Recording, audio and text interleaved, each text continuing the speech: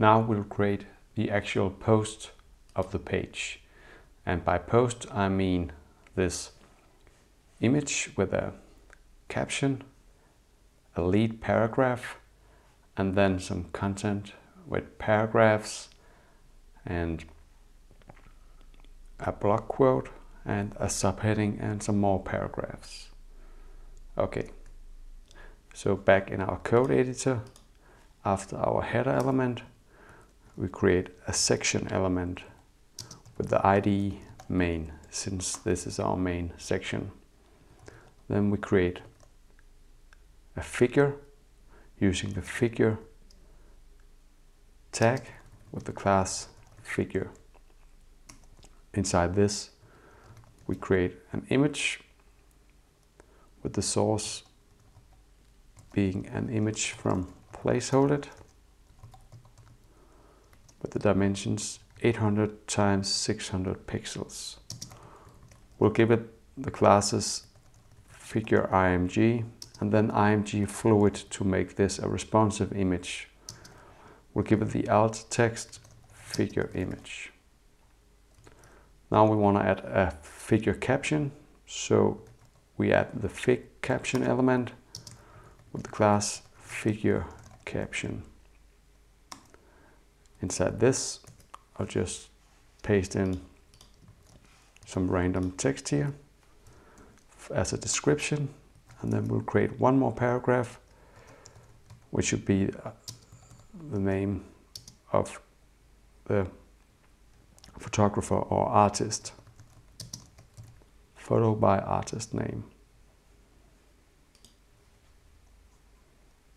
Now we'll first create a lead paragraph which is a p element with the class lead once again I'll copy in some text here, like so.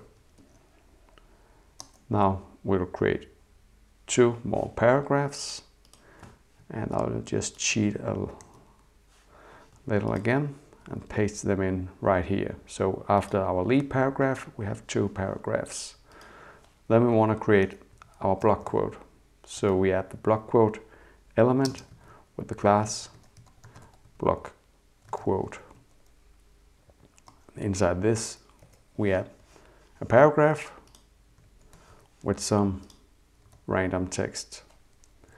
And then we want a footer for this para or this block quote. So we add the footer element inside of it with the class block quote footer. And then we just give it some text first name last name. This should of course be the name of the person which we are quoting. Okay, after this, I'll add in one more paragraph. And then we'll create a subheading which is basically just an H2 heading element. Remember we have the H1 heading element up here in the top, in the very top, and then we can use H2 heading elements for subheadings like so. Finally, I'll paste in the last two paragraphs right here. Let's save and have a look in the browser. I'll refresh. Now we see that we have our image. We have the figure caption, the lead paragraph, two paragraphs, the block quote element, one more paragraph, a subheading, and the final two paragraphs. If we resize the browser window, we'll see that our image is responsive because we use the tag img fluid. This is just as we want.